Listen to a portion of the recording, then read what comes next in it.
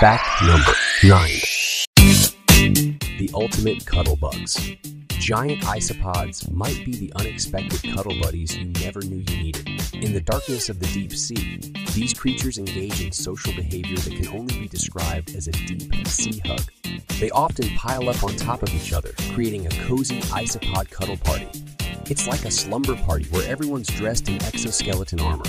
Who knew the depths could be so heartwarming?